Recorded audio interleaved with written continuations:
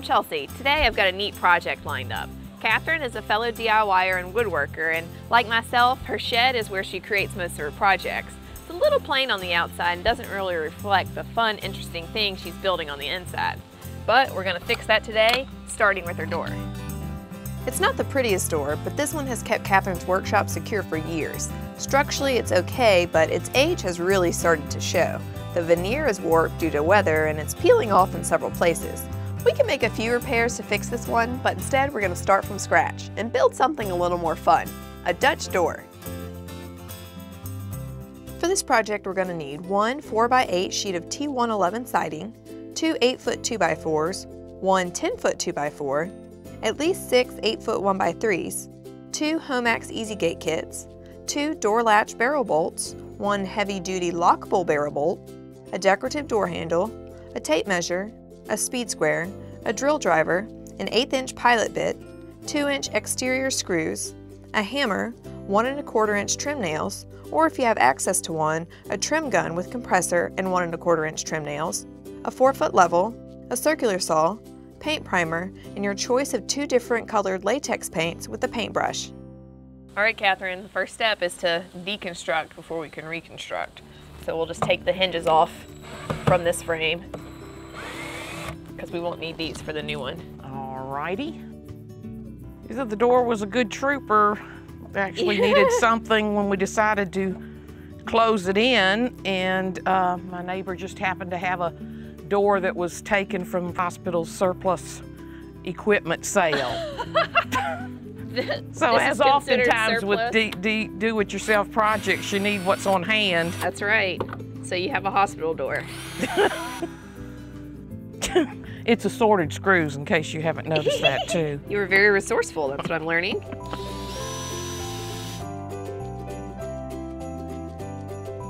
With the old door down, we measure the width and height of the frame opening to determine the layout for the new door. Most old sheds like this one are not perfectly square, so it's important to be precise.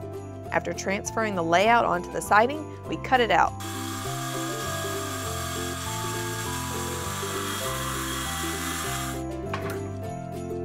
Be easier to paint it now before we put the little decorative trim on it. You do that half, I'll do this half.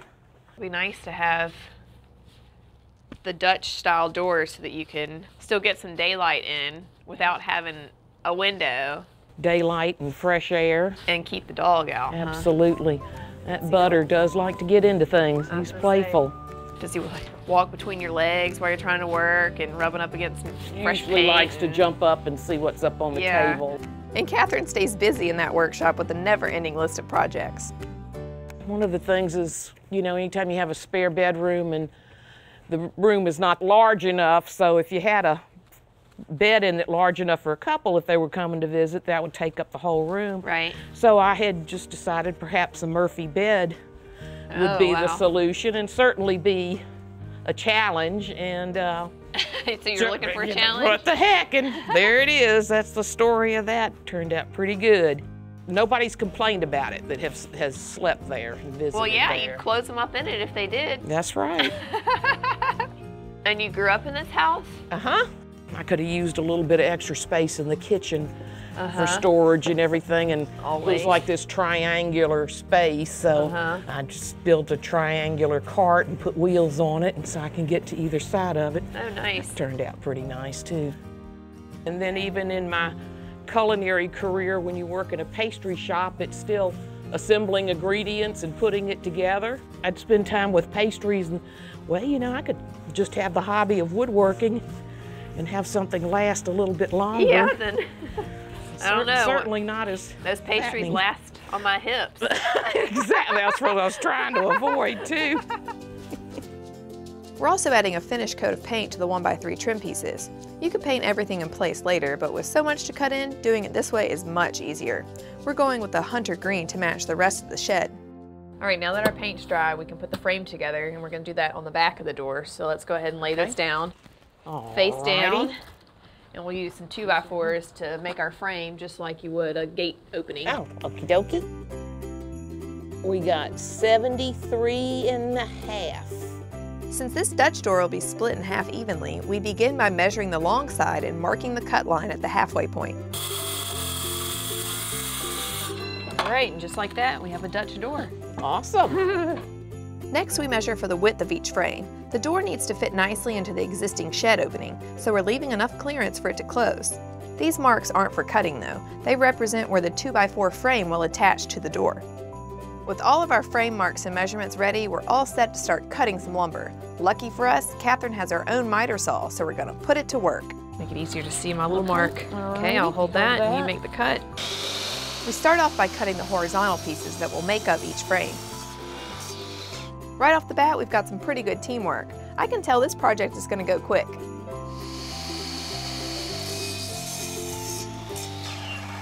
Okay, this is what's gonna keep everything together. Cool. But since we have two doors, essentially, we need two kits. And basically, we're building it like a, a gate. So we have two of them with hinges and two of them without. Okay. So we can put our two by fours, slip right in here, mm-hmm. and we'll assemble them to the frame as we're assembling them into the door itself. Alrighty.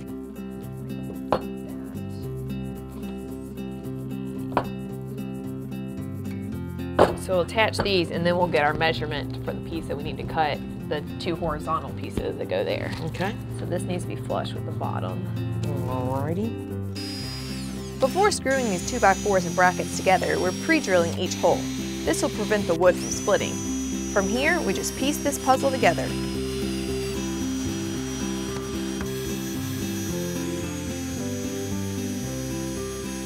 With our horizontal 2x4s in place and all four brackets attached, we measure for each vertical piece before cutting them to length.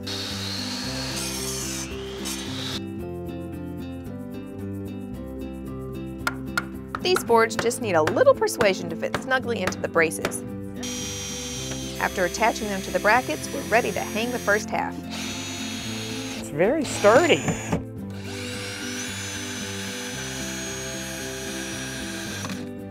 High five, there's something missing.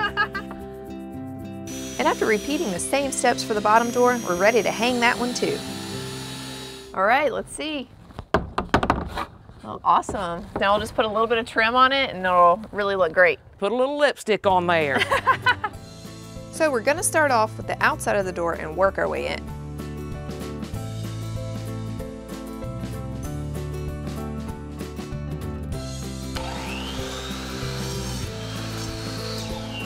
It's important not to leave any raw edges exposed to the outside elements. So after cutting each board, we cover the ends with a little paint. All right, let's nail her up. You good with that? I'm good with that. Okay.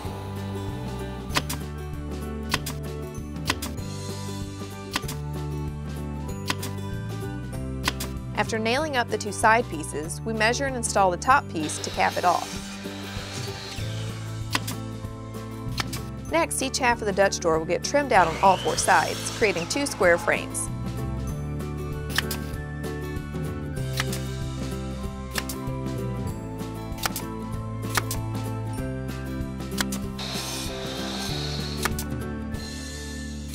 All right, so we're just gonna use this scrap material to see where we want our angle little decorative pieces to go. That's a little too, not enough. A little bit further. That's too much. So let's just scoot it up just like that. I'm thinking that I like that, but you know, maybe what we could use as the template is the speed square to do our measurements, and I think that would just be Yeah. right on. All right, let's see what it looks like. These accent pieces will really add some character to this door. Once we're happy with the measurement for our first one, we'll cut the same opposing 45 degree miter cuts for each piece, six in all.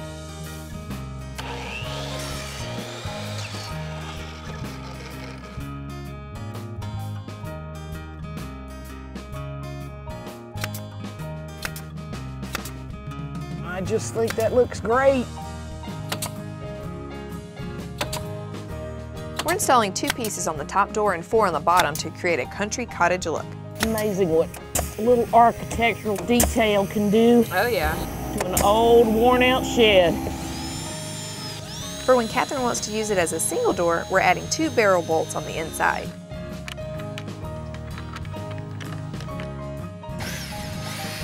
And to keep the shed secure, we're adding a larger bolt for Catherine's padlock. After adding the handle and a little touch up, This Dutch door is complete. Well, Catherine, I think it looks like it's always been here. I love it.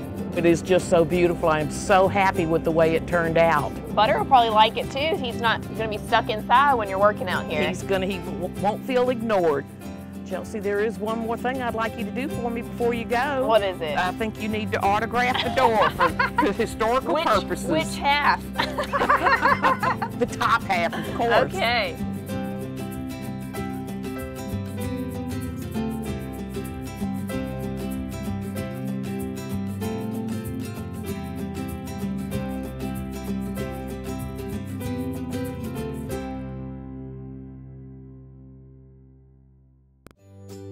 I have so many ideas for upcoming projects. Follow along on Facebook so you don't miss out.